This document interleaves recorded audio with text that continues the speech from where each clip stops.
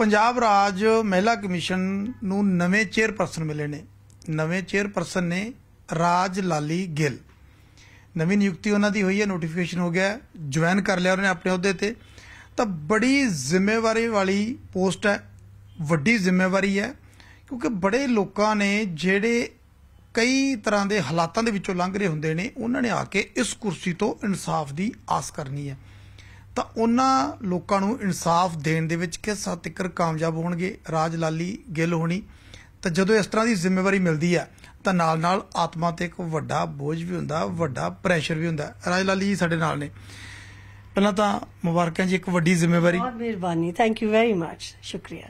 ਜਿਸ ਤਰ੍ਹਾਂ ਮੈਂ ਪਹਿਲਾਂ ਜ਼ਿਕਰ ਕਰ ਰਿਹਾ ਸੀ ਕਿ ਜਦੋਂ ਇਦਾਂ ਦੀ ਜ਼ਿੰਮੇਵਾਰੀ ਮਿਲਦੀ ਹੈ ਜੀ ਪੰਜਾਬ ਰਾਜ ਮਹਿਲਾ ਕਮਿਸ਼ਨ ਦੀ ਚੇਅਰਪਰਸਨ ਤੇ ਸੂਬੇ ਦੀਆਂ ਔਰਤਾਂ ਨੂੰ ਇਨਸਾਫ ਦਿਵਾਉਣਾ ਉਹਨਾਂ ਦੇ ਹੱਕਾਂ ਦੀ ਲੜਾਈ ਲੜਨਾ ਇੱਕ ਬੇहद ਵੱਡੀ ਜ਼ਿੰਮੇਵਾਰੀ ਆਤਮਾ ਤੇ ਜੇ ਕਹਿੰਦੇ ਕਿ ਸਮਝਣ ਵਾਲਾ ਬੰਦਾ ਹੈ, ਤਾਂ ਉਹਦੀ ਆਤਮਾ ਤੇ ਇੱਕ ਬੜੀ ਵੱਡੀ ਜ਼ਿੰਮੇਵਾਰੀ ਦਾ ਪ੍ਰੈਸ਼ਰ ਹੁੰਦਾ ਆਫ ਕੋਰਸ ਰਾਈਟ ਜਿਹੜੀ ਰਿਸਪੌਂਸਿਬਿਲਿਟੀ ਹੈ ਬਹੁਤ ਜ਼ਿਆਦਾ ਵੱਡੀ ਹੈ।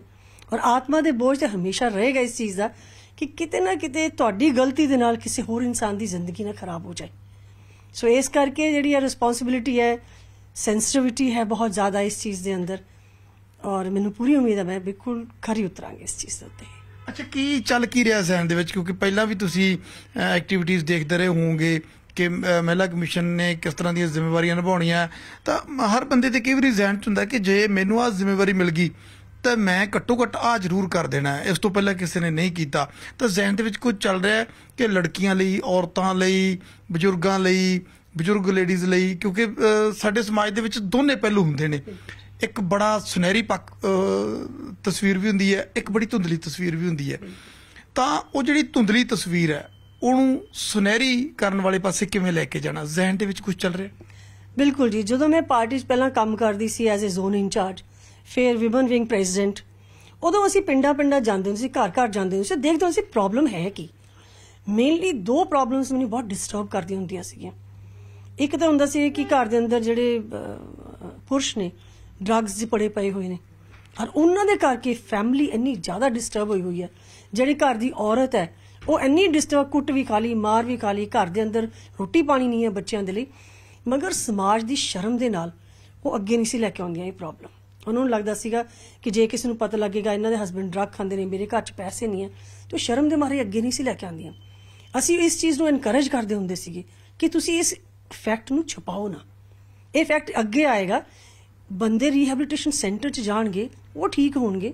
ਐਂਡ ਸੈਕੰਡਲੀ ਮੈਨੂੰ ਲੱਗਦਾ ਸੀਗਾ ਕਿ ਜਿਹੜੀਆਂ ਲੇਡੀਜ਼ ਨੇ ਨਾ ਇਕਨੋਮਿਕਲੀ ਇੰਡੀਪੈਂਡੈਂਟ ਨਹੀਂ ਆ। ਸਾਨੂੰ ਐਸਾ ਜ਼ਰੂਰ ਕੁਝ ਕਰਨਾ ਚਾਹੀਦਾ ਕਿ ਆਪਣੇ ਛੋਟਾ ਮੋਟਾ ਕਮਾ ਕੇ ਆਪਣਾ ਚੁੱਲ੍ਹਾ ਜਲਾ ਸਕਣ ਬੰਦੇ ਦੇ ਉੱਤੇ ਡਿਪੈਂਡ ਨਾ ਕਰਨ ਬੱਚਿਆਂ ਨੂੰ ਚੰਗਾ ਪਾਲ ਸਕਣ। ਇੱਕ ਤਾਂ ਮੇਰੇ 'ਚ ਇਹ ਬਹੁਤ ਜ਼ਿਆਦਾ ਹੁੰਦਾ ਸੀਗਾ। ਸੈਕੰਡਲੀ ਮੈਂ ਦੇਖਦੀ ਹੁੰਦੀ ਸੀ ਕਿ ਛੋਟੀਆਂ ਗਰਲਸ ਛੋਟੀ ਉਮਰ 'ਚ ਵਿਆਹ ਕਰ ਦੇਣੇ ਨੇ। ਕਿ 10ਵੀਂ ਹੋ ਗਈ 11ਵੀਂ ਹੋ ਗਈ ਬਸ ਵਿਆਹ ਕਰ ਦੋ। ਅਸੀਂ ਉਹਨੂੰ ਪੁੱਛਦੇ ਸੀ ਵੀ ਕਿਉਂ ਕਰ ਰਹੇ ਹੋ ਤੁਸੀਂ ਐਦਾਂ ਤੇ ਮੈਂ ਕਈ ਵਾਰੀ ਉਹਨਾਂ ਦੇ ਫਾਦਰ ਨਾਲ ਗੱਲ ਕੀਤੀ ਬ੍ਰਦਰ ਨਾਲ ਗੱਲ ਕਰਦੇ ਸੀ। ਉਹ ਕਹਿੰਦੇ ਜੀ ਅਸੀਂ ਨਹੀਂ ਅੱਗੇ ਪੜਾਣਾ ਘਰੋਂ ਦੂਰ ਹੈ ਸਕੂਲ ਹੈ ਨਹੀਂ ਚੱਜ ਦਾ। ਜੇ ਅਸੀਂ ਦੂਰ ਭੇਜਾਂਗੇ, ਬੱਸ 'ਚ ਜਾਏਗੀ, ਕੁੜੀ ਸਾਈਕਲ ਤੇ ਜਾਏਗੀ, ਮਾਹੌਲ ਠੀਕ ਨਹੀਂ ਹੈ। ਕੱਲ ਨੂੰ ਕਿਸੇ ਮੁੰਡੇ ਨੇ ਛੇੜਦਾ ਕੱਲ ਨੂੰ ਕੋਈ ਜਾਸਤੀ ਹੋ ਗਈ, ਤੁਹਾਨੂੰ ਪਤਾ ਕ੍ਰਾਈਮ ਬਹੁਤ ਜ਼ਿਆਦਾ ਹੈ। ਤੇ ਇਹ ਚੀਜ਼ ਦੇ ਡਰ ਦੇ ਨਾਲ ਜਦੋਂ ਕੁੜੀਆਂ ਨੂੰ ਘਰੇ ਬਿਠਾ ਲੈਂਦੇ, ਵਿਆਹ ਕਰ ਦੋ, ਬਸ ਰਿਸਪਾਂਸਿਬਿਲਟੀ ਖਤਮ ਹੋ ਗਈ। ਉਹ ਬਹੁਤ ਦੁਖਦਾ ਹੁੰਦਾ ਸੀ। ਜੇ ਬੱਚਿਆਂ ਨੂੰ ਪੁੱਛਦੇ ਸੀ ਕਿ ਤੁਸੀਂ ਹੁਣ ਬਸ ਵਿਆਹ ਕਰਾ ਲੈਣਾ, ਅੱਗੇ ਨਹੀਂ ਪੜਨਾ ਉਹਨਾਂ ਦਾ ਜਵਾਬ ਇੱਕੋ ਹੀ ਹੁੰਦਾ ਸੀਗਾ। ਅੱਖਾਂ 'ਚ ਵੀ ਹੰਝੂ ਹੁੰਦੇ ਸੀ, ਫਾਦਰ ਵੱਲ ਵੀ ਦੇਖਦੀਆਂ ਸੀ ਕਿ ਪੜਨਾ ਚਾਹੁੰਦੇ ਆ ਜੀ, ਪਰ ਘਰ ਦੇ ਨਹੀਂ ਪੜਾਉਂਦੇ ਅੱਛਾ ਜ਼ਹਿਨ ਦੇ ਵਿੱਚ ਇਹ ਸਭ ਚੱਲ ਰਿਹਾ, ਕੋਈ ਇਦਾਂ ਦਾ ਤੁਹਾਨੂੰ ਲੱਗਦਾ ਕਿ ਜੇ ਇਹ ਜ਼ਿੰਮੇਵਾਰੀ ਮਿਲੀ ਹੈ, ਤਾਂ ਤੁਸੀਂ ਉਸ ਪਾਸੇ ਵੱਲ ਕਹਿੰਦੇ ਕਿ 100% ਤਾਂ ਘੱਟੋ ਘੱਟ ਕਹਿੰਦੇ ਆ ਕਿ ਪਲੰਗ ਪੁੱਟਣੀ ਤਾਂ ਸ਼ੁਰੂ ਹੋਵੇ। ਤੁਹਾਨੂੰ ਲੱਗਦਾ ਕਿ ਐਸਾ ਮਾਹੌਲ ਸਿਰਜਣ ਵੱਲ ਤੁਸੀਂ ਕਦਮ ਵਧਾ ਸਕੋਗੇ ਕਿ ਲੜਕੀਆਂ ਔਰਤਾਂ ਆਪਦੇ ਆਪ ਨੂੰ ਸੇਫ ਮਹਿਸੂਸ ਕਰਨ ਤੇ ਘਰਦਿਆਂ ਨੂੰ ਘੱਟੋ ਘੱਟ ਉਸ ਡਰ ਦੇ ਚਲਦਿਆਂ ਆਪਦੀ ਨਿੱਕੀ ਜੀ ਧੀ ਵਿਆਹਣੀ ਨਾ ਪਵੇ ਜਾਂ ਘਰ 'ਚ ਕੈਦ ਨਾ ਕਰਨੀ ਪਵੇ। ਅਹ ਇਹ ਮਾਹੌਲ ਨੂੰ ਠੀਕ ਆਲਰੇਡੀ ਕਰ ਲਿਆ ਗਿਆ ਉਹਦੇ ਰਾਹ ਦੇ ਉੱਤੇ ਅਸੀਂ ਆਲਰੇਡੀ ਤੁਰ ਪਏ ਹਾਂ ਕੁਝ ਦਿਨ ਪਹਿਲਾਂ ਤੁਸੀਂ ਦੇਖਿਆ ਹੋਣਾ ਕਿ ਆਨਰੇਬਲ ਸੀਐਮ ਭਗਵੰਤ ਮਾਨ ਸਾਹਿਬ ਇਹਨਾਂ ਦੀ ਸਪੀਚ ਤੁਸੀਂ ਦੇਖਿਆ ਹੋਣਾ ਕਿ ਜਦੋਂ ਮੈਂ ਇੱਕ ਵਾਰੀ ਫੰਕਸ਼ਨ ਤੇ ਬੈਠਾ ਹਾਂ, ਮੇਰੇ ਸਾਹਮਣੇ ਰੋ ਦੇ ਉੱਤੇ ਜਿੰਨੀਆਂ ਡੀਸੀਸ ਬੈਠੀਆਂ ਨੇ ਆਲ ਔਮਨ ਐਸਪੀਸ ਬੈਠੀਆਂ ਨੇ ਯੂਨੀਫਾਰਮ ਦੇ ਅੰਦਰ ਬੜਾ ਪ੍ਰਾਊਡ ਫੀਲ ਹੁੰਦਾ ਇਸ ਚੀਜ਼ ਦੇ ਉੱਤੇ। ਉਹਨਾਂ ਨੇ ਇੱਕ ਸੈਂਟਰ ਵੀ ਖੋਲ੍ਹਿਆ ਜਿੱਥੇ ਕਿ ਮਸ਼ੀਨਾਂ ਕਾਫੀ ਨੇ ਔਰ ਉਹ ਜਦੋਂ ਸੈਂਟਰ ਚੱਲਿਆ, ਉਹ ਕਹਿੰਦੇ ਹੁਣ ਜਿਹੜੀ ਪੁਲਿਸ ਦੀ ਯੂਨੀਫਾਰਮ ਹੋਏਗੀ, ਇਹ ਸੈਂਟਰ 'ਚ ਬਣੇਗੀ ਤਾਂ ਕਿ ਇਹ ਔਰਤਾਂ ਥੋੜਾ ਥੋੜਾ ਕਮਾਉਣਾ ਸ਼ੁਰੂ ਕਰਨ। ਤਾਂ ਇਹ ਆਲਰੇਡੀ ਉਸ ਪਾਥ ਦੇ ਉੱਤੇ ਚੱਲ ਪਏ ਆ ਕਿ ਇਕਨੋਮਿਕਲੀ ਇੰਡੀਪੈਂਡੈਂਟ ਹੋਣਾ ਚਾਹੀਦਾ। ਜਿੱਥੇ ਤੱਕ ਕਿ ਬੱਚਿਆਂ ਦਾ ਸਵਾਲ ਹੈ, ਕੁੜੀਆਂ ਦਾ। ਹੁਣ ਤੁਸੀਂ ਦੇਖਿਆ ਹੋਗਾ ਸਕੂਲਾਂ ਦੇ ਲਈ ਬੱਸਸ ਲੱਗੀਆਂ ਨੇ। ਉਹ ਵੀ ਸਰਕਾਰੀ ਬੱਸਸ ਲੱਗੀਆਂ ਨੇ। ਘਰੋਂ ਪਿਕਅਪ ਹੋਣਗੀਆਂ। ਚਾਹੇ ਉਹ ਕਿਹੜਾ ਵੀ ਪਿੰਡ ਹੋਣਾ ਦੀ ਕਨੈਕਟੀਵਿਟੀ ਬਹੁਤ ਜ਼ਿਆਦਾ ਵਧੀਆ ਹੈ। ਤੇ ਸੇਫ ਤੇ ਹੈ ਹੀ ਜੀ ਇਹਦੇ ਕਰਕੇ। ਔਰ ਸੇਫਟੀ ਮੈਜਰਸ ਵੀ ਬਹੁਤ ਇਨ ਪਲੇਸ ਨੇ। ਅੱਛਾ, ਇੱਕ ਚੀਜ਼ ਹੋਰ ਕਿ ਹਮੇਸ਼ਾ ਔਰਤਾਂ ਦੇ ਹੱਕ ਦੀ ਗੱਲ ਕਰਨਾ ਜ਼ਿੰਮੇਵਾਰੀ ਵੀ ਬਣਦੀ ਹੈ। ਗੁਰੂ ਨਾਨਕ ਦੇਵ ਜੀ ਨੇ ਵੀ ਉਸ ਜ਼ਮਾਨੇ 'ਚ ਜ਼ਿਕਰ ਕੀਤਾ ਇਹਨਾਂ ਗੱਲਾਂ ਦਾ। ਔਰਤ ਨੂੰ ਉਹਨਾਂ ਨੇ ਵੱਡਾ ਰੁਤਬਾ ਦਿੱਤਾ।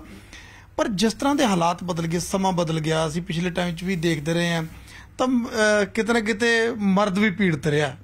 ਐਸੇ ਹਾਲਾਤ ਵੀ ਪੈਦਾ ਹੋਏ ਉਹਨਾਂ ਚੀਜ਼ਾਂ ਨੂੰ ਲੈ ਕੇ। ਤਾਂ ਜ਼ਿੰਮੇਵਾਰੀ ਤੁਹਾਨੂੰ ਕੀ ਲੱਗਦਾ ਤੁਹਾਡੇ ਤੇ ਇਕੱਲੀ ਫਿਰ ਇੱਕ ਪਾਸੇ ਦੀ ਰਹੇਗੀ ਜਾਂ ਫਿਰ ਇਨਸਾਫ ਦੋਨੇ ਵਾਲੇ ਪਾਸੇ ਨੂੰ ਜਾਣਾ ਹੈ? ਕਈ ਵਾਰੀ ਅਗਲਾ ਕਹਿੰਦਾ ਕਿ ਯਾਰ ਮਹਿਲਾ ਕਮਿਸ਼ਨ ਹੈ ਤੇ ਗੱਲ ਮਹਿਲਾ ਦੀ ਇਕੱਲੀ ਦੀ ਤਾਂ ਨਹੀਂ ਹੋਣੀ ਆਦਮੀ ਕਿੱਥੇ ਜਾਏਗਾ? ਨਾਰਮਲੀ ਜਿਹੜਾ ਲਾਅ ਹੈ ਨਾ ਇਹ ਵਿਮਨ ਨੂੰ ਫੇਵਰ ਕਰਦਾ ਹੈ। ਔਰ ਦੋ ਕੇਸਸ ਐਸੇ ਨੇ ਜਿੱਦਾਂ ਕਿ ਰੇਪ ਕੇਸ ਹੋਇਆ। ਜੀ। ਹੁਣ ਚਾਹੇ ਪੁਰਸ਼ ਨੇ ਕੁਝ ਮਤਲਬ ਕੋਈ ਗੱਲਬਾਤ ਐਸੀ ਹੈ ਨਹੀਂ ਕਿ ਪਰ ਇੱਕ ਔਰਤ ਕਹਿੰਦੀ, ਮੈਂ ਤੇਰਾ ਬਦਲਾ ਲਵਾਂਗੀ ਜੋ ਮੇਰੇ ਤੁਸੀਂ ਮੈਨੂੰ ਛੱਡਿਆ ਜਾਂ ਕੀਤਾ। ਤੇ ਉਹ ਬਲੇਮ ਚਲਾ ਜਾਂਦਾ, ਪਰ ਉਹ ਇਨੋਸੈਂਟ ਹੈ ਵਿਚਾਰਾ। ਤੋ ਇਹ ਇਹੋ ਜਿਹੇ ਕੇਸ ਜਿਹੜੇ ਨੇ, ਤੇ ਬੜੇ ਸੈਂਸਿਟਿਵ ਕੇਸ ਨੇ।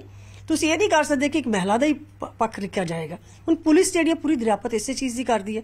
ਔਰ ਮੇਰਾ ਹਮੇਸ਼ਾ ਕੌਨਸ਼ੀਅਸ ਇਹ ਰਹੇਗੀ ਕਿ ਕਿਸੇ ਕੋਈ ਗਰੀਬ ਐਵੇਂ ਨਾ ਮਾਰਿਆ ਜਾਵੇ ਜਸਟ ਬਿਕੋਜ਼ ਕਿਸੇ ਨੇ ਕੋਈ ਸਟੇਟਮੈਂਟ ਦਿੱਤੀ ਹੈ। ਇਹ ਦੋਵਾਂ ਪਾਸੇ ਰਹੇਗਾ ਸਾਰਾ। ਐਂਡ ਸੈਕੰਡਲੀ ਹੈ ਜਿਹੜੀ ਐਨ ਆਰ ਆਈਜ਼ ਦੀਆਂ ਜਿਹੜੀਆਂ ਵਿਆਹ ਨੇ ਕਦੇ ਹੁੰਦਾ ਕਿ ਕੁੜੀਆਂ ਛੱਡ ਕੇ ਚਲੇ ਗਏ ਜਾਂ। ਅੱਗੋਂ ਗਈਆਂ ਨੇ ਵਾਪਿਸ ਆ ਗਈਆਂ ਉੱਥੇ ਕੋਈ ਬਣਿਆ ਨਹੀਂ ਨਾ ਉਹ ਕੁੜੀ ਘਰ ਦੀ ਰਹੀ ਨਾ ਬਾਹਰ ਦੀ ਰਹੀ। ਠੀਕ ਹੈ ਨਾ? ਔਰ ਐਟ ਦਾ ਸੇਮ ਟਾਈਮ ਐਸੀਆਂ ਵੀ ਨੇ ਜਿਹੜੇ ਕਿ ਕਾਫੀ ਲਿਵ ਇਨ ਰਿਲੇਸ਼ਨ ਚ ਰਹਿ ਚੁੱਕੀਆਂ ਨੇ ਲੇਡੀਜ਼ ਔਰ ਉਸ ਤੋਂ ਬਾਅਦ ਕਹਿੰਦੇ ਕਿ ਸਾਡਾ ਇਹ ਗੱਲ ਹੋ ਗਿਆ। ਮੇਰਾ ਖਿਆਲ ਹੈ ਇਟਸ ਸੱਚ ਅ ਸੈਂਸਿਟਿਵ ਟੌਪਿਕ ਕਿ ਇੱਕ ਚੀਜ਼ ਤਾਂ ਪੇਰੈਂਟਸ ਨੂੰ ਵੀ ਬੜਾ ਇੱਕ ਰਿਕੁਐਸਟ ਹੁੰਦੀ ਹੈ ਕਿ ਜਿੱਥੇ ਵੀ ਆਪਣੇ ਧੀ ਦਾ ਵਿਆਹ ਕਰਦੇ ਹੋ ਜਿਹੜਾ ਦੇਖ ਦਾਖ ਕੇ ਕਰੋ ਠੀਕ ਤਰੀਕੇ ਨਾਲ ਕਰੋ। ਔਰ ਜੇ ਕੋਈ ਲੜਕਾ ਐਸਾ ਜੈਨੂਇਨਲੀ ਉਸ ਕੁੜੀ ਨੂੰ ਤੰਗ ਕਰਕੇ ਬਾਹਰ ਭੱਜ ਗਿਆ। ਜਾਂ ਉਹਨੇ ਛੱਡ ਦਿੱਤਾ ਉੱਥੇ ਜਾ ਕੇ। I think we are going to take a very very serious note of it ਕੁੜੀਆਂ ਵੀ ਕਈ ਕਹਿੰਦੇ ਵਿਆਹ ਕਰਾ ਕੇ ਉਧਰ ਖਰਚਾ ਖੁਰਚਾ ਕਰਾ ਕੇ ਉੱਠ ਜਾਂਦੀਆਂ ਇਦਾਂ ਦੇ ਕੇਸ ਵੀ ਸਾਹਮਣੇ ਆਏ ਤੇ ਮੁੰਡਾ ਵਿਚਾਰਾ ਇੱਥੇ ਕਿ ਵਿਚਾਰੇ ਇੱਕ ਨੇ ਤਾਂ ਖੁਦਕੁਸ਼ੀ ਵੀ ਕਰ ਲਈ ਸੀ। ਬਿਲਕੁਲ ਠੀਕ ਕਹਿ ਰਹੇ ਹੋ। ਇਹ ਪ੍ਰੋਬਲਮ ਵੀ ਹੈਗੀ ਹੈ ਤੇ ਇਸੇ ਕਰਕੇ ਕਹਿੰਦੇ ਨਾ ਕੇਸ ਟੂ ਕੇਸ ਜਿਹੜੀ ਪੂਰੀ ਦਰਿਆਪਤ ਕਰਕੇ ਉਸ ਦਾ ਡਿਸੀਜਨ ਲਿੱਤਾ ਜਾਵੇ ਤਾਂ ਕਿ ਬੋਥ ਪਾਰਟੀਆਂ ਜਿਹੜੀਆਂ ਨੇ ਇਹ ਸਫਰ ਨਾ ਕਰਨ ਕਿਸੇ ਵੀ ਚੀਜ਼ ਅੱਛਾ ਇੱਕ ਦਾਜ ਦੇ ਜਲਾ ਮਸਲਾ ਤਾਂ ਇਹਦੇ ਤੇ ਹਾਲਾਂਕਿ ਬੜੀ ਸਖਤੀ ਵੀ ਹੋਈ ਕਿ ਪਹਿਲਾਂ ਪਰਚਾ ਤੁਰੰਤ ਦਰਜ ਹੋ ਜਾਂਦਾ ਸੀ, ਉਸ ਤੋਂ ਬਾਅਦ ਹੁਣ ਬੜਾ ਇਨਕੁਆਰੀ ਤੋਂ ਬਿਨਾ ਪਰਚਾ ਦਰਜ ਨਹੀਂ ਹੁੰਦਾ। ਇਹ ਵੀ ਬੜਾ ਕਹਿੰਦੇ ਕਿ ਸਭ ਤੋਂ ਈਜ਼ੀ ਦੇਖਿਆ ਜਾਂਦਾ ਕਿ ਜੇ ਰੱਬ ਨਾ ਕਰੇ, ਸਹੁਰੇ ਘਰੇ ਕੁੜੀ ਨੂੰ ਕੁਝ ਹੋ ਗਿਆ, ਤਾਂ ਉਹ ਤਾਂ ਟੱਬਰ ਕੀ ਉਹਨਾਂ ਦੀਆਂ ਕੁੜੀਆਂ ਜਵਾਈ ਤੱਕ ਤਿਆਰੀ ਕਰ ਲੈਣ ਵੀ ਉਹ ਤਾਂ ਸਾਰਾ ਟੱਬਰ ਗਿਆ। ਇਸ ਤਰ੍ਹਾਂ ਦੇ ਕੇਸਸ ਵੀ ਮੈਨੂੰ ਤੁਸੀਂ ਵੀ ਦੇਖੇ ਹੋਣੇ? ਬਿਲਕੁਲ ਦੇਖਿਆ ਨੇ ਜੀ, ਮੈਂ ਇੱਕ ਕੇਸ ਐਸਾ ਵੀ ਦੇਖਿਆ ਕਿ ਇੱਕ ਲੜਕੀ ਨੇ ਖੁਦਕੁਸ਼ੀ ਕਰ ਲਈ ਵਿਆਹ ਤੋਂ 2-3 ਦਿਨਾਂ ਦੇ ਬਾਅਦ ਹੀ। ਤੇ ਘਰਦਿਆਂ ਨੇ ਇਹੀ ਕਿਹਾ ਵੀ ਤਾਂ ਦਹੇਜ ਕਰਕੇ ਪੀੜਤ ਕੀਤਾ ਗਿਆ ਸੀ। ਮਗਰ ਬਾਅਦ ਚੋਂ ਨਿਕਲਿਆ ਕਿ ਨਹੀਂ, ਉਸ ਲੜਕੀ ਨੂੰ ਤਾਂ ਬਾਇਪੋਲਰ ਡਿਜ਼ੀਜ਼ ਸੀ। ਉਸ ਕਰਕੇ ਹੋਇਆ ਸੀਗਾ। ਤੇ ਇਸੇ ਕਰਕੇ ਮੈਂ ਕਹਿੰਦਾ ਕੇਸ ਟੂ ਕੇਸ ਜਿਹੜਾ ਆ, ਇਹਦੀ ਪੂਰੀ ਦਰਿਆਪਤ ਕਰੇ ਪੁਲਿਸ ਇਸੇ ਕਰਕੇ ਹੈਗੀ ਹੈ ਜੀ। ਸਾਰੇ ਫੈਕਟਸ ਨੂੰ ਅੱਗੇ ਰੱਖਿਆ ਜਾਵੇ। ਸਾਰੇ ਫੈਕਟ ਚਾਹੇ ਮੈਡੀਕਲ ਫੈਕਟਸ ਨੇ, ਚਾਹੇ ਦੂਜੇ ਫੈਕਟਸ ਨੇ, ਰੱਖ ਕੇ ਫੇਰ ਡਿਸੀਜਨ ਲਿੱਤਾ ਜਾਵੇ। ਮਗਰ ਯੈਸ ਅਗਰ ਕੋਈ ਕੁੜੀ ਦੇ ਨਾਲ ਕੋਈ ਜਾਸਤੀ ਹੈ ਵਾਕਈ ਕੋਈ ਦਹੇਜ ਲਈ ਹੈ ਜਾਂ ਕੋਈ ਰੇਪ ਕੇਸ ਹੈ ਜਾਂ ਕੋਈ ਵੀ ਐਸੀ ਪ੍ਰੋਬਲਮ ਹੈ I will always stand with the girl but at the same time ਅਗਰ ਲੱਗਦਾ ਹੈ ਕਿ ਇਹਦੇ ਵਿੱਚ ਕੁਝ ਥੋੜੀ ਜਿਹੀ ਗੜਬੜ ਹੈ, ਤੇ ਉਸ, ਉਹਨਾਂ ਨੂੰ ਵੀ ਵਾਰਨਿੰਗ ਦਿੱਤੀ ਜਾਏਗੀ ਐਦਾਂ ਨਹੀਂ ਕਰਨਾ ਚਾਹੀਦਾ ਸਮਾਜ ਦੇ ਅੰਦਰ। ਅੱਛਾ, ਤਾਂ ਕੀ ਇਹ ਤੁਹਾਡੇ ਰਾਹੀਂ ਸੁਨੇਹਾ ਦੇ ਦਈਏ ਕਿ ਕੁੜੀਆਂ ਦੀ ਜਾਂ ਔਰਤਾਂ ਦੀ ਜ਼ਿੰਮੇਵਾਰੀ ਤਾਂ ਤੁਸੀਂ ਚੁੱਕ ਰਹੇ ਹੋ, ਤੇ ਜਿਹੜੇ ਸਾਡੇ ਮਰਦ ਨੇ ਜਾਂ ਪੁਰਸ਼ ਨੇ, ਉਹ ਵੀ ਤੁਹਾਡੇ ਕੋਲੇ ਵਿੱਚ ਝਿਕੋ ਕੇ ਆ ਕੇ ਆਪਦੀ ਜਿਹੜੀ ਅਪੀਲ ਕਰ ਸਕਦੇ ਆ, ਵੀ ਭਾਈ ਸਾਡੇ ਨਾਲ ਵੀ ਧੱਕਾ ਹੋ ਰਿਹਾ। ਤੇ ਇਹ ਮੰਨ ਕੇ ਚੱਲੀਏ ਕਿ ਮਹਿਲਾ ਕਮਿਸ਼ਨ ਮਰਦਾਂ ਦੇ ਹੱਕਾਂ ਦੀ ਵੀ ਰਾਖੀ ਕਰੇਗਾ ਹੁਣ। ਨਹੀਂ, ਮੈਂ ਤਾਂ ਤੁਹਾਨੂੰ ਪਹਿਲਾਂ ਹੀ ਦੱਸੀ ਇਹ ਗੱਲ ਕਿ ਪੱਖ ਪੂਰਾ ਦੇਖਣਾ ਚਾਹੀਦਾ ਹੈ। ਠੀਕ ਹੈ ਨਾ? ਬਟ ਯੈਸ 90% ਮੈਂ ਦੇਖਦੀ ਹਾਂ ਜਿਹੜੀਆਂ ਗਰਲਸ ਨੇ ਉਹ ਪੀੜਤ ਨੇ। 10% ਹੋ ਸਕਦਾ ਕਿ ਜਿਹੜੇ ਮਰਦ ਨਹੀਂ ਇਹਨਾਂ ਦੀ ਵੀ ਪੀੜਤ ਨਾ ਹੋਏਗੀ। ਤੇ ਪੱਖ ਤਾਂ ਦੋਨੇ ਪਾਸੇ ਦਾ ਸੁਣਿਆ ਜਾਏਗਾ। But yes I am always with the woman and always stand with the woman thank you ਅੱਛਾ ਹੁਣ ਆਪਾਂ ਤੁਹਾਡੇ ਜੁਆਇਨਿੰਗ ਵਾਲੇ ਪਾਸੇ ਚੱਲਦੇ ਹਾਂ। ਕਿ ਕਦੋਂ ਤੁਹਾਨੂੰ ਪਤਾ ਲੱਗਿਆ ਕਿ ਭਾਈ ਤੁਹਾਨੂੰ ਇਹ ਵੱਡੀ ਜ਼ਿੰਮੇਵਾਰੀ ਮਿਲ ਗਈ ਹੈ? ਤਾਂ ਕਿਹਨੇ ਤੁਹਾਨੂੰ ਦੱਸਿਆ? ਉਸ ਵੇਲੇ ਜ਼ੈਨ ਦੇ ਵਿੱਚ ਕੀ ਚੱਲ ਰਿਹਾ ਸੀ? ਪਹਿਲਾਂ ਪਤਾ ਸੀਗਾ ਕਿ ਇਸ ਕੁਰਸੀ ਤੇ ਬੈਠਣ ਬਿਠਾਉਣ ਦੀ ਤਿਆਰੀ ਚੱਲ ਰਹੀ ਹੈ। ਬਿਲਕੁਲ ਵੀ ਨਹੀਂ। ਮੇਰੇ ਨਾਂ ਜ਼ੈਂਟ ਸੀ। ਨਾ ਹੀ ਮੈਨੂੰ ਕਦੇ ਪਾਰਟੀ ਨੇ ਕੰਟੈਕਟ ਕੀਤਾ ਇਸ ਚੀਜ਼ ਦੇ ਲਈ ਔਰ ਨਾ ਹੀ ਮੈਨੂੰ ਕਦੇ ਕਿਸੇ ਨੇ ਦੱਸਿਆ ਸੀ। ਪਰ ਹੁੰਦਾ ਹੈ ਕਿ ਜਦੋਂ ਅਹ, ਕਿਉਂਕਿ ਇਸ ਟਾਈਮ ਅਪਾਇੰਟਮੈਂਟਸ ਦਾ ਟਾਈਮ ਸੀ ਹਰ ਕੋਈ ਤਰ੍ਹਾਂ ਤਰ੍ਹਾਂ ਦੀ ਗੱਲਾਂ ਕਰਦੇ ਨੇ। ਪਰ ਮੇਰੇ ਜ਼ਹਿਨ 'ਚ ਬਿਲਕੁਲ ਵੀ ਨਹੀਂ ਸੀਗਾ। ਅਸੀਂ ਤੇ ਕਰਮਜੀਤ ਅਨਮੋਲ ਜੀ ਦੇ ਘਰੇ ਬੈਠੇ ਸੀ ਉਹਨਾਂ ਦੀ ਸੈਲੀਬ੍ਰੇਸ਼ਨ ਕਰ ਰਹੇ ਸੀਗੇ। ਉਹਨਾਂ ਦੇ ਐਮਪੀ ਡਿਕਲੇਅਰ ਹੋ ਗਏ ਸੀਗੇ। ਤੇ ਮੈਂ ਉਹਨਾਂ ਨੂੰ ਇਹ ਗੱਲ ਕਹੀ, ਮੈਂ ਕਿਹਾ ਮੈਂ ਹੁਣੇ ਥੋੜੀ ਦੇਰ ਵਾਪਸ ਆਨੀ ਹੈ। ਮੈਂ ਗੁਰਦੁਆਰੇ ਸਾਹਿਬ ਜਾ ਰਹੀ ਹਾਂ, ਸ਼ੰਗਰਾਨ ਦਾ ਦਿਨ ਸੀ। ਮੈਂ ਕਿਹਾ ਅੱਜ ਮੈਂ ਸਵੇਰੇ ਮੱਥਾ ਨਹੀਂ ਟੇਕਿਆ। ਮੈਂ ਮੱਥਾ ਟੇਕਿਆ, ਫਿਰ ਆਨੀ ਹਾਂ ਵਾਪਸ। ਕਹਿੰਦੇ ਠੀਕ ਹੈ ਜੀ। ਮੈਂ ਜਾ ਕੇ ਦੇਖ ਕਰਾ ਕੇ ਹਲੀ ਜਾ ਹੀ ਰਹੀ ਸੀ, ਦੇਖ ਕਰਾ ਕੇ ਕਰਨ ਦੇ ਲਈ। ਤੇ ਮੈਂ ਅਚਾਨਕ ਦੇਖਿਆ ਕਿ ਸੀਐਮ ਆਫਿਸ ਤੋਂ ਕਾਲ ਹੈ। ਪਹਿਲਾਂ ਤਾਂ ਮੈਨੂੰ ਖੁਦ ਹੀ ਡਰ ਲੱਗ ਗਿਆ ਕਿ ਸ਼ਾਇਦ ਮੇਰੇ ਤੋਂ ਕੋਈ ਗਲਤੀ ਹੋ ਗਈ ਹੈ ਜਾਂ ਕੁਝ ਹੋਇਆ ਤੇ ਤਾਂ ਹੀ ਮੈਨੂੰ ਸ਼ਾਇਦ ਡਾਂਟ ਨਾ ਪੈ ਜਾਏ ਕਿਸੇ ਤਰੀਕੇ ਨਾਲ, ਪਰ ਇਦਾਂ ਨਹੀਂ ਸੀ। ਤੇ ਜਦੋਂ ਮੈਂ ਕਾਲ ਲਿੱਤੀ ਤਾਂ ਉਹਨਾਂ ਨੇ ਮੈਨੂੰ ਪੁੱਛਿਆ ਤੁਸੀਂ ਕਿੱਥੇ ਹੋ? ਮੈਂ ਕਿਹਾ ਜੀ ਗੁਰਦੁਆਰਾ ਸਾਹਿਬ ਹੈ।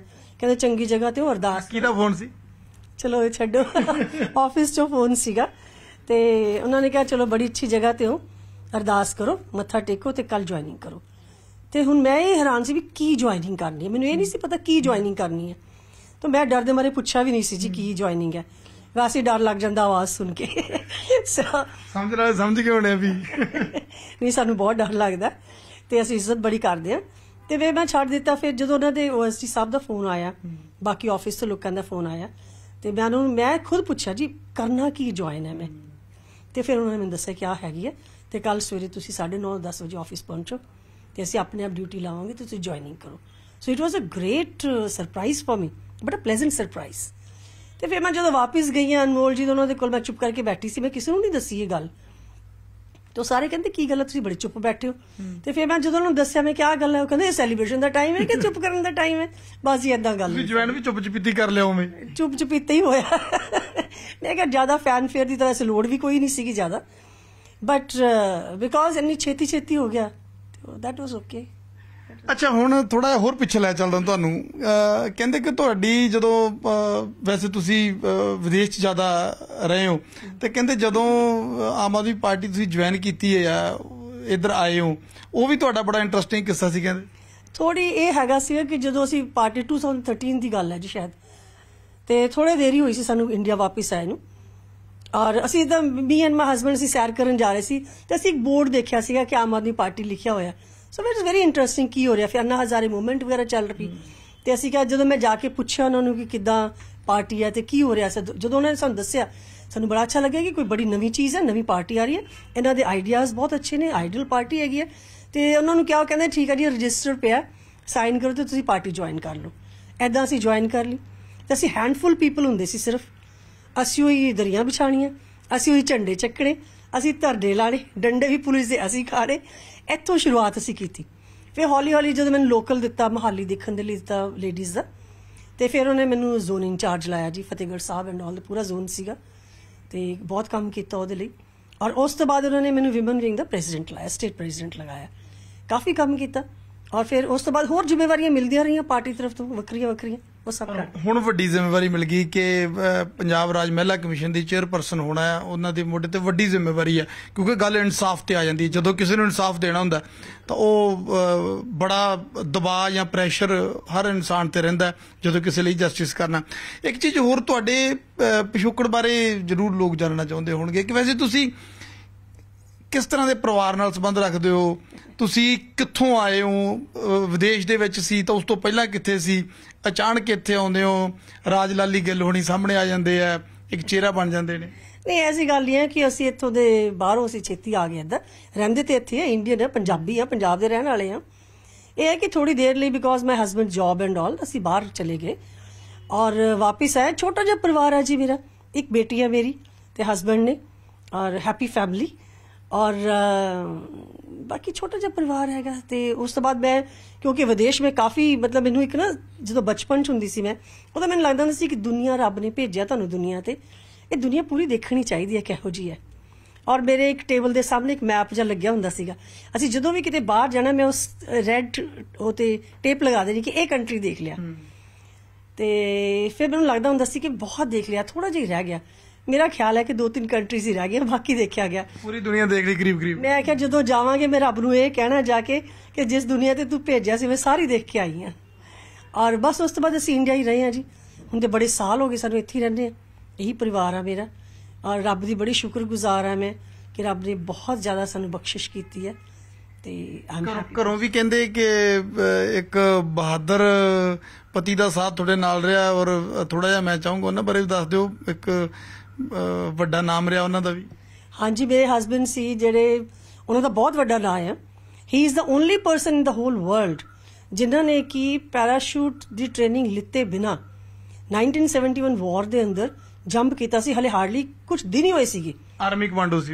ਹਾਂਜੀ ਕਿਉਂਕਿ ਉਹਨਾਂ ਦੇ ਸੀਓ ਸਾਹਿਬ ਜਿਹੜੇ ਕਮਾਂਡਿੰਗ ਆਫੀਸਰ ਸੀ ਉਹਨਾਂ ਨੇ ਉਹਨਾਂ ਨੂੰ ਲਿਜਾਣ ਤੋਂ ਹੀ ਮਨਾ ਕਰ ਦਿੱਤਾ ਸੀਗਾ ਕਿ ਤੁਹਾਨੂੰ ਨਹੀਂ ਲਿਜਾ ਸਕਦੇ ਤੁਹਾਨੂੰ ਗਨ ਨਹੀਂ ਫੜਨੀ ਆਂਦੀ ਤੁਹਾਨੂੰ ਪੈਰਾਸ਼ੂਟ ਨਹੀਂ ਪਤਾ ਕੁਝ ਨਹੀਂ ਪਤਾ।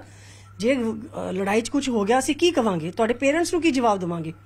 ਉਹ ਕਹਿੰਦੇ ਜਿਹਦੇ ਕੈਜੂਅਲਟੀ ਹੋ ਜਾਏ, ਜਿਹੜੀ ਉਹ ਜਵਾਬ ਦਿੰਦੇ ਪੇਰੈਂਟਸ ਨੂੰ, ਮੇਰੇ ਪੇਰੈਂਟਸ ਨੂੰ ਦੇ ਦਿਓ। ਖੈਰ ਜੀ, ਉਹਨਾਂ ਦੇ ਕਮਾਂਡਿੰਗ ਆਫੀਸਰ ਨੂੰ ਮੰਨਣਾ ਪਿਆ, ਕਿਉਂਕਿ ਇਹ ਉਹਨਾਂ ਦੇ ਦਫ਼ਤਰ ਦੇ ਬਾਹਰ ਹੀ ਖੜੇ ਰਹੇ। ਕਹਿੰਦੇ, ਮੈਂ ਹਫਤਾ ਇੱਥੇ ਹੀ ਖੜਾ ਰਹੂੰਗਾ। ਖਾਦੇ ਪੀਤੇ ਬਿਨਾ ਜਿੰਨਾ ਚਿਰ ਤੁਸੀਂ ਮੈਨੂੰ ਹਾਂ ਨਹੀਂ ਕਰਦੇ। ਉਹਨਾਂ ਨੇ ਹਾਂ ਕਰ ਦਿੱਤੀ। ਤੇ 71 ਵਾਰ ਦੇ ਅੰਦਰ ਉਹ ਗਏ ਨੇ। ਲੜਾਈ ਲੜੀ ਆਪਣੇ ਦੇਸ਼ ਦੇ ਲਈ। ਟੰਗੇਲ ਦੇ ਚ ਉਹਨਾਂ ਦਾ ਜੰਪ ਹੋਇਆ ਸੀਗਾ।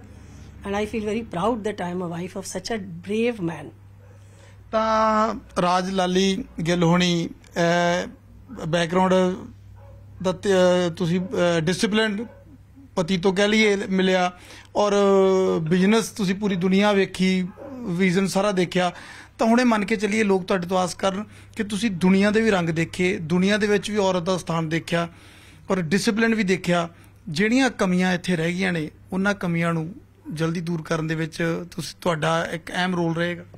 ਬਹੁਤ ਵੱਡੀ ਰਿਸਪੌਂਸਿਬਿਲਿਟੀ ਔਰ ਮੈਂ ਬਹੁਤ ਸੀਰੀਅਸਲੀ ਲੈਣੀ ਹੈ ਇਸ ਰਿਸਪੌਂਸਿਬਿਲਿਟੀ ਨੂੰ। ਦੁਨੀਆ ਨੂੰ ਵੀ ਦੇਖਿਆ ਸੈਂਸਿਟਿਵਿਟੀ ਵੀ ਦੇਖਿਆ ਔਰ ਇਨਸੈਂਸਿਟਿਵਿਟੀ ਵੀ ਦੇਖੀ ਹੈ ਔਰ ਜਦੋਂ ਅਸੀਂ ਪੰਜਾਬ 'ਚ ਆਉਂਦੇ ਆ ਹੁਣ ਤੇ ਜਦੋਂ ਦੇ ਸਾਡੀ ਪਾਰਟੀ ਆਈ ਹੈ ਮਾਨ ਸਾਹਿਬ ਨੇ ਟੇਕ ਓਵਰ ਕੀਤਾ, ਬਹੁਤ ਲੀਹ ਤੇ ਆ ਗਿਆ ਪੰਜਾਬ। ਔਰ ਬਹੁਤ ਪ੍ਰੋਗਰੈਸ ਹੋਈ ਹੈ ਔਰ ਮਾਨ ਸਾਹਿਬ ਨੂੰ ਦੇਖ ਕੇ ਤੇ ਬਹੁਤ ਇਨਸਪੀਰੇਸ਼ਨ ਮਿਲਦੀ ਹੈ ਮਾਨ ਸਾਹਿਬ, ਸਾਡੇ ਐਸੇ ਸੀਐਮ ਨੇ ਜਿਨ੍ਹਾਂ ਨੇ ਕਿ ਦਿਨ 'ਚ 20 20 30 ਰੈਲੀਆਂ ਇਕੱਠੀਆਂ ਕੱਢੀਆਂ ਨੇ। ਨਾ ਉਹ ਥੱਕਦੇ ਨੇ ਤੇ ਨਾ ਕਿਸੇ ਨੂੰ ਥੱਕਣ ਦਿੰਦੇ ਨੇ। ਇਨਸਪੀਰੇਸ਼ਨ ਸਾਡੇ ਕੋਲ ਬਹੁਤ ਹੈ। ਔਰ ਮੈਨੂੰ ਹਮੇਸ਼ਾ ਇਹ ਲੱਗਦਾ ਕਿ ਜਿਹੜਾ ਸਬਜੈਕਟ ਜਿਹੜੀ ਰਿਸਪੌਂਸਿਬਿਲਿਟੀ ਮੈਨੂੰ ਮਿਲੀ ਹੈ ਇਹਦੇ ਅੰਦਰ ਮੈਂ ਹਮੇਸ਼ਾ ਇਹੀ ਗੁੰਜਾਇਸ਼ ਹੈ ਕਿ ਗਲਤੀ ਕਿਤੇ ਨਾ ਹੋ ਜਾਏ। ਔਰ ਜਦੋਂ ਤੁਹਾਡੀ ਆਤਮਾ ਤੇ ਬੋਝ ਹੁੰਦਾ ਨਾ ਕਿ ਕਿਸੇ ਦੀ ਕੋਈ ਗਲਤੀ ਨਾ ਹੋ ਜਾਏ ਉਹ ਤੁਹਾਨੂੰ ਰਾਤ ਨੂੰ ਸੌਣ ਨਹੀਂ ਦਿੰਦਾ ਤੇ ਫੈਸਲਾ ਕਦੇ ਗਲਤ ਨਹੀਂ ਕਰਨ ਦਿੰਦਾ। ਆਤਮਾ ਜਿਉਂਦੀ ਹੈ ਔਰ ਵਧੀਆ ਕੰਮ ਕਰਾਂਗੇ। ਤਾਂ ਪੰਜਾਬ ਰਾਜ ਮਹਿਲਾ ਕਮਿਸ਼ਨ ਦੇ ਚੇਅਰਪਰਸਨ ਨੇ ਜੀ ਜਿਨ੍ਹਾਂ ਨੂੰ ਤੁਸੀਂ ਹੁਣੇ ਸੁਣ ਰਹੇ ਸੀ ਰਾਜ ਲਾਲੀ ਗਿੱਲ ਹੋਣੀ ਤੇ ਇੱਕ ਵੱਡੀ ਜ਼ਿੰਮੇਵਾਰੀ ਮਿਲੀ ਹੈ। ਤਾਂ ਸੁਨੇਹਾ ਦੇਣ ਦੀ ਕੋਸ਼ਿਸ਼ ਵੀ ਕਿ ਆਸ ਤੇ ਉਮੀਦ ਇਹੀ ਕਿ ਹਰ ਇੱਕ ਸ਼ਖਸ ਦੇ ਨਾਲ ਚਾਹੇ ਉਹ ਮਹਿਲਾ ਚਾਹੇ ਉਹ ਮਰਦ ਹੈ, ਚਾਹੇ ਉਹ ਪੁਰਸ਼ ਹੈ, ਚਾਹੇ ਜਿਹੜਾ ਇੱਥੇ ਅਪਰੋਚ ਕਰੇਗਾ ਕਿ ਇਨਸਾਫ ਹੋਵੇ ਔਰਤਾਂ ਦੇ ਹੱਕਾਂ ਦੀ ਲੜਾਈ ਲੜਨ ਦੇ ਲਈ ਇਸ ਕਮਿਸ਼ਨ ਨੂੰ ਜ਼ਿੰਮੇਵਾਰੀ ਦਿੱਤੀ ਗਈ ਹੈ। ਪਰ ਨਾਲ ਹੀ ਕਹਿੰਦੇ ਨੇ ਕਿ ਕਿਸੇ ਨਾਲ ਜ਼ਿਆਦਤੀ ਵੀ ਨਹੀਂ ਹੋਏਗੀ। ਤਾਂ ਆਸ ਕਰਦੇ ਹਾਂ ਕਿ ਇਨਸਾਫ ਲੈ ਕੇ ਹੀ ਜਿਹੜਾ ਇੱਥੇ ਆਏਗਾ ਤਾਂ ਉਸ ਨੂੰ ਇਨਸਾਫ ਜ਼ਰੂਰ ਮਿਲੇਗਾ। ਕੈਮਰਾਮੈਨ ਜਤਿੰਦਰ ਸਿੱਧੂ ਦੇ ਨਾਲ ਨਪਿੰਦਰ ਸਿੰਘ ਬਰਾੜ ਨਿਊਜ਼ 18 ਮੋਹਾਲੀ।